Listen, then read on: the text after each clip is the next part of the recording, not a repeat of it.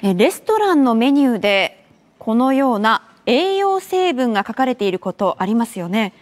この数値の元になっている日本食品標準成分表が15年ぶりに大幅に改定されました。でその中でも特に大きな見直しがあった食品がこちらです。ひじきと切り干し大根です。まあ、ひじきは鉄分の王様と呼ばれていますが、これまでは調理前の乾燥した状態で100グラムあたり鉄分は58.2ミリグラムでしたが、今回は6.2ミリグラムと9分の1程度の数値になりました。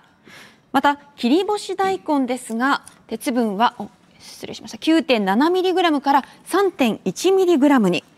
なぜこのように数値が下がったのか、これには共通するある理由がありました。まあ、ひじきを作るには、以前はこのような鉄の釜や鍋を使っていましたが今はステンレスの釜や鍋が主流となっています。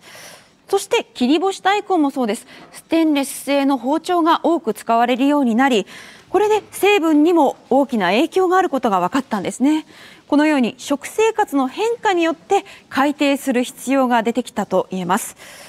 また私たちが日常的に口にする機会が増えたこの発芽玄米やベーグルブロッコリースプラウトそしていわゆるノンアルコールビールなど